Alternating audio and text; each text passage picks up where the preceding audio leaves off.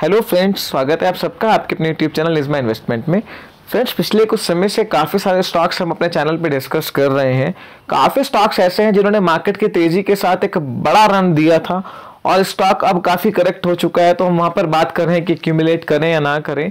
पर आज के इस वीडियो में जिस शेयर के बारे में हम बात करने वाले हैं, वो कंटिन्यूसली मार्केट को अंडर परफॉर्म कर रहा है।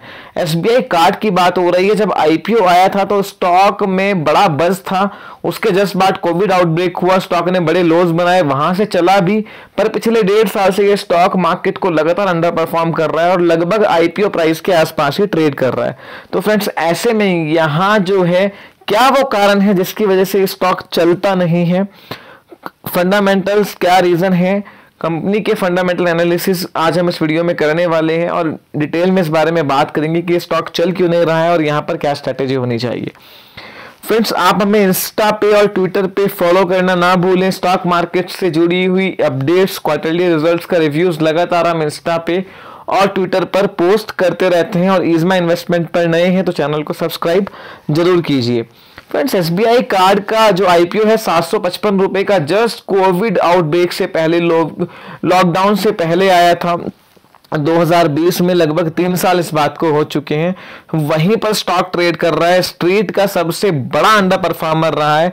क्या बेचकर निकल जाए अगर आईपीओ में आपने स्टॉक लिया है, किसी भी लेवल पे लिया है या बाय एवरेजिंग करने का मौका है? क्यों स्टॉक में इतनी बड़ी अंडर परफॉर्मेंस है? इस बारे में भी डिटेल में हम बात करेंगे।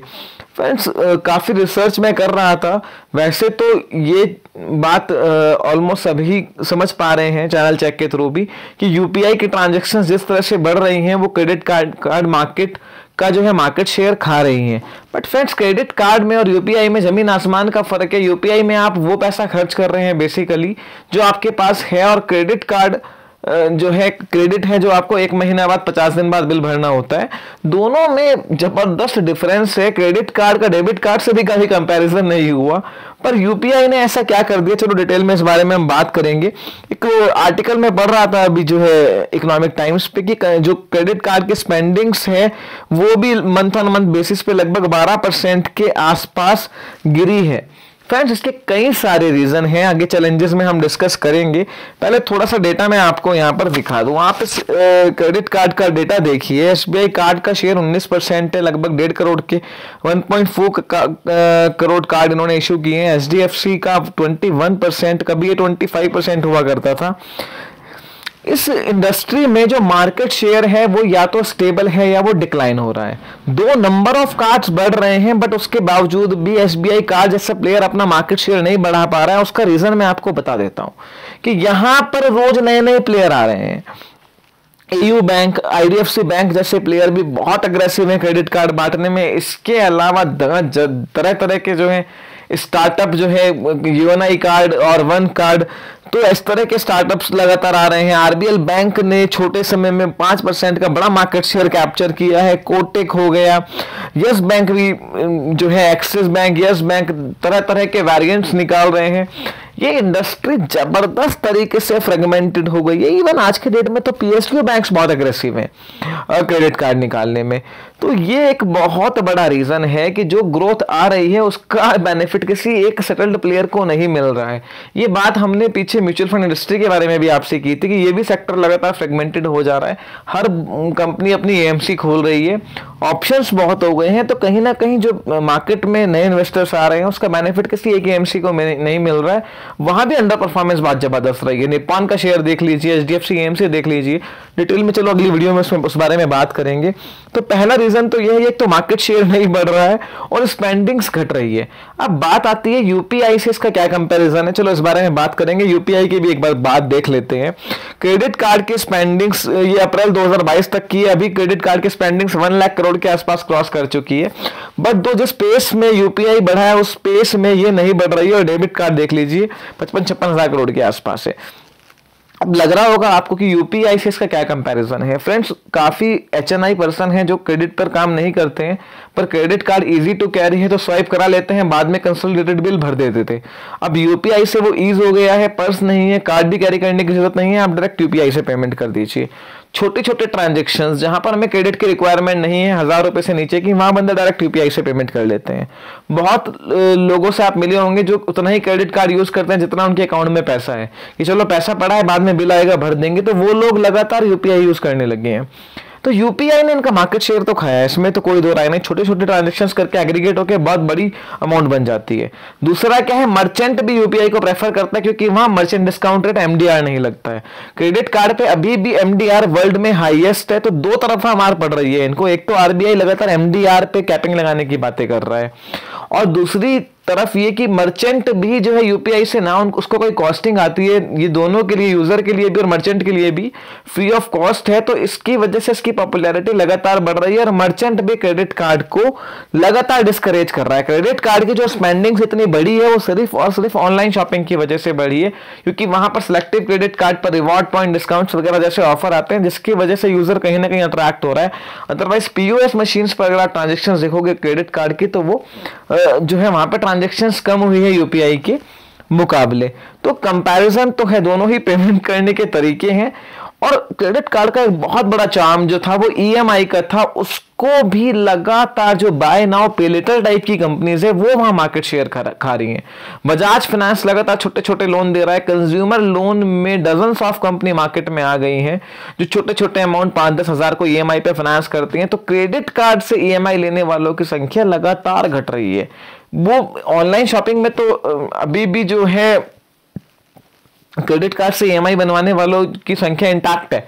पर पीओएस मशीन्स पे और ये छोटे छोटे जो ऑफलाइन मार्केट है, बहुत बड़ा चैनल है ये।